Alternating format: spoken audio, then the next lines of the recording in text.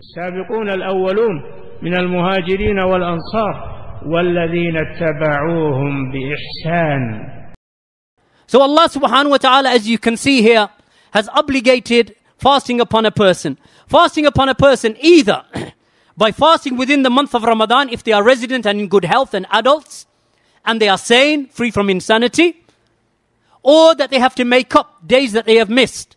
Like for example, for the menstruating woman, for the postnatally bleeding woman who is not breastfeeding, and for the one who is sick, or the one who missed them due to a journey, then they have to make up, make them up from other days.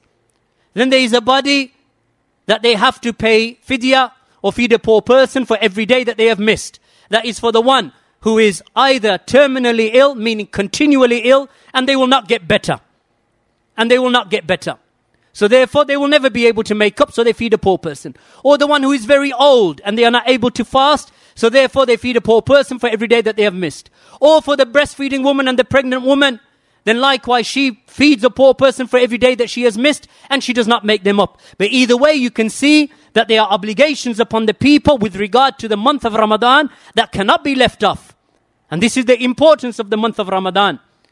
So therefore, we are obligated to fulfill that which Allah subhanahu wa ta'ala has obligated upon us. فَمَنْ شَهِدَ مِنْكُمَ الشَّهْرَ فَلْيَصُمْهُ ومن كان مريضا أو على سفر فعدة من أيام أخر يريد الله بكم اليسر ولا يريد بكم العسر ولتكملوا العدة ولتكبروا الله على ما هداكم ولعلكم تشكرون that Allah subhanahu wa ta'ala has mentioned so whomsoever of you witnesses the beginning of the month of Ramadan by the sighting of the new moon then they must fast a month and whomsoever is ill or upon a journey then they must make up those days from other days for indeed Allah wishes for you ease and He does not wish for you hardship.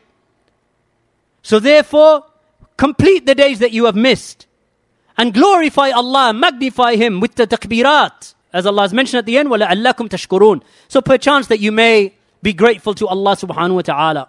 So Allah has obligated upon you the importance of this month. Look at all of the rules and regulations of this month, showing the importance of this affair. So every single person has something that he must do with regard to fulfilling the obligation of this month. So may Allah subhanahu wa ta'ala make that easy upon us.